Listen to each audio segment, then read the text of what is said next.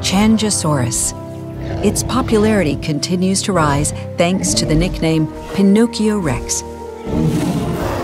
This name is inspired by this Asian tyrannosaur's long and thin snout.